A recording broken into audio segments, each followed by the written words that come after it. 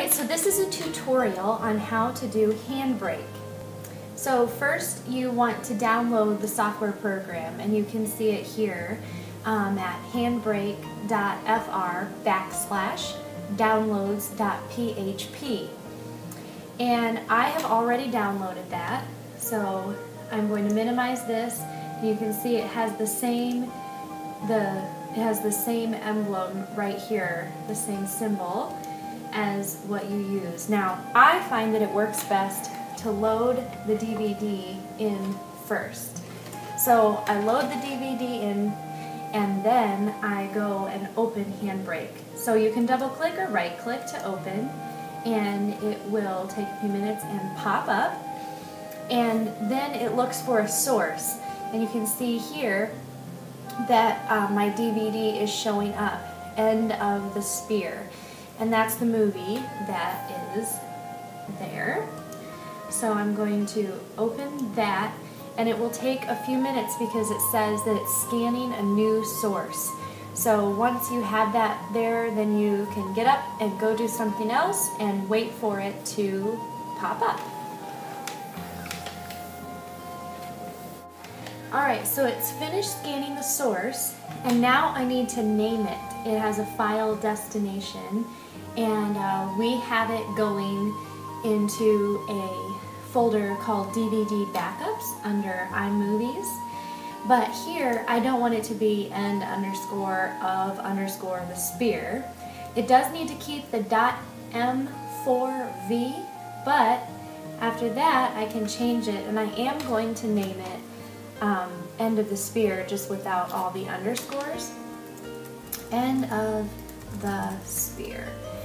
And then I need to hit start. So I press start up there and it says one encode pending and pretty soon it'll come up with a kind of a, a, timeline of how much it is um, doing. But once you hit that, you can walk away and give it the time that it needs. Depending on the length of the video, depends on how long it will take. So that makes sense. Uh, now you can see it just popped up Queue scanning title 1 of 6. That's the other thing that you need to watch out for up here. And I'll show you that um, there at the end. But basically right here it says title and then each one has a variety of times so depending on the DVD, it could have a whole list of things that are one minute, two minute, things like that that aren't really actually the movie. It might be previews or bonus material things like that. But it will only do one title at a time. I personally am not interested in having the bonus material. Um, for most of my movies, I'm just interested in the actual movie. So, um, again, it'll, it'll take a while, but you know that it's working and you just walk away and let it do its job.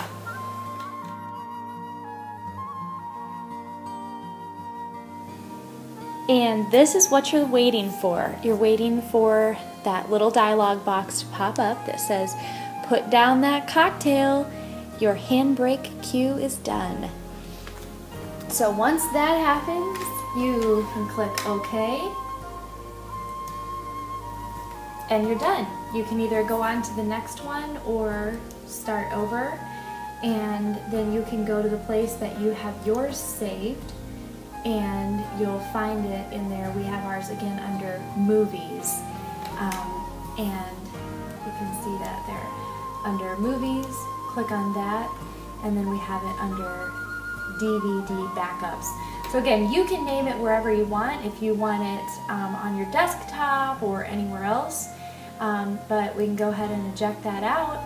And now our movie that we purchased is um, available to be used in a different format.